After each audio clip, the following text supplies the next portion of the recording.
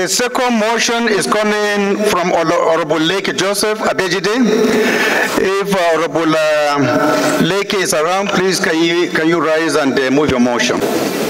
Honorable Leke Joseph Abejide is my name. I represent the good people of Yagba East, Yagba West, Mapamurufra constituency.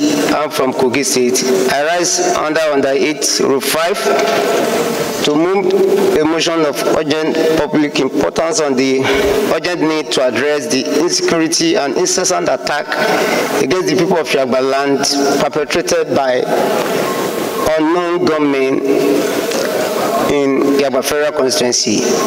I so move, Mr. Speaker. colleagues, Karib Tajuddin Abisodu is my name. I represent the people of Shaki East, Shaki West, and Atisbo Federal Constituency. Right Honorable Speaker, sir, I'm from Oyo State. I rise this morning to second the motion being ably moved by my colleague, Honorable Ajibije. Thank you very much, Honorable. Honorable Leke Abejide is my name. I remain a member representing the people of Yagba Federal constituency. I'm from Kogi State.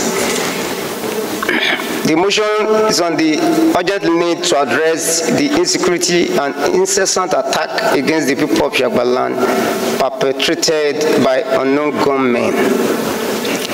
Alarmed by the shocking incident that occurred on May 7th, 2024 in the Jiba community, Yagba West local government area of Kogi State, where a group of armed kidnappers numbering about 10, all dressed in black, stormed the central market in the broad daylight and abducted a prominent businesswoman, Buki, and a male customer after shooting sporadically causing panic and fear among the residents.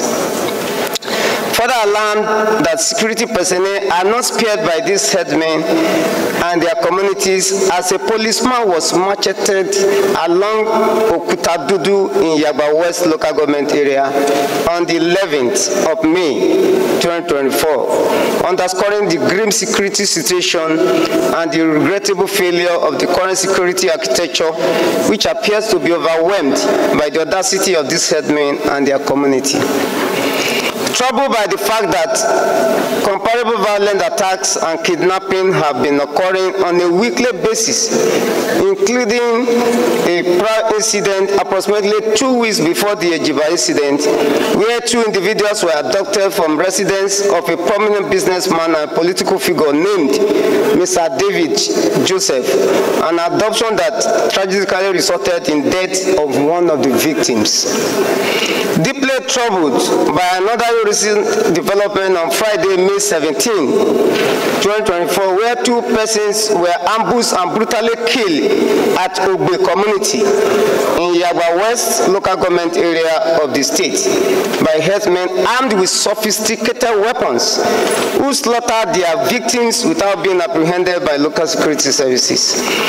Recall that more than six persons were kidnapped within the space of 48 hours around Isanlu in Yagba East local government area, and three people were again murdered between Idofin and Isolu in attempt to escape from the kidnappers. Worried with grave concern that these attacks are perpetrated under the pretense of migration by cattle herders, lot of whom are non-Nigerians also worried that these armed groups infiltrated farms and forests in the area, populate the regions from within the forest, the outskirts and fringes of existing communities, and engage in kidnapping, killing, raping, and maiming of indigenes, causing several insecurity and fear among the local populace. Further worried that these armed groups are not known to the indigenous people of the land. They, they, they live uncivilized lives and have adopted a hostile existence completely at variance with the local culture and way of life, creating a divide within the community. Disturbed that the indigenous people who do not own weapons now live in fear of the heavily armed non-indigenous who have forcibly seized land, farmlands, causing serious famine due to inability of indigenous to farm and access their agricultural lands. Also disturbed about the inability of the security apparatus to address the systematic takeover of lands belonging to the good people of Yagba Federal Constituency as they allow private individuals to carry arms in broad daylight, watch as non-natives take over farms, eat crops of indigenous farmers, and sack indigenes from their farmlands, with many killed for trying to access their lands or objecting to the eating of their crops. Perplexed that the herders and their newly established communities are known to openly carry arms, cutlasses, machetes, openly in contrast to the indigenous people of Yagbaland who have traditionally relied on Nigeria police for protection and do not engage in such practices. Deeply saddened by the trend of violence and hopelessness that has befallen the once peaceful Yagba axis of Kogi West Central District, which has now turned into an epicenter of banditry and kidnapping, with criminals operating on a daily basis, leaving the local populace in a state of constant fear and despair. Resolve, they also resolve to urge the federal government to direct urgent attention and concentrated effort toward the Yagba axis of Kogi West Central District, an area formerly renowned for its peaceful nature, but which has tragically devolved into a hotbed of banditry, kidnapping, and other criminal activities occurring on daily basis. Two, urge the Chief of Defense Staff and Inspector General Police to identify and profile each individual living in obscurity within the forest of Yagba Federal Constituency, lot of whom are non-Nigerian for security purposes. Three, further urge the Inspector General Police to carry out a comprehensive mop-up of all arms, ammunition, AK-47, cutlasses, and other weapons in their possession, in the possession of the herders and individuals within the constituency to prohibit the public carrying of such arms and weapons. Four, all security architecture, including the Inspector General Police, the Director General of State Security Services, the Commandant General of Nigerian Security and Civil Defense Corps to comb Forest and secure immediate release of victims and arrest the kidnappers.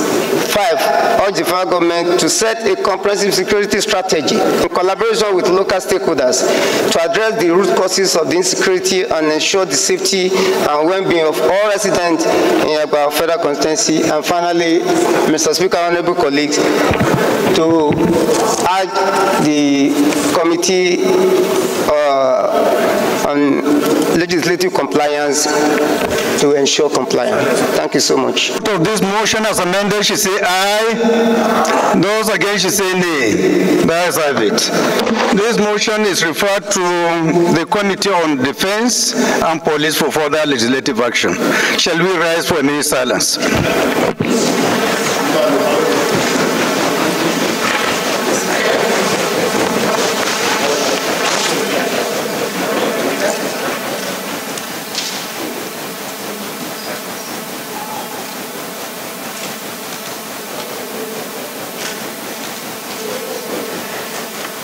May their soul rest in peace.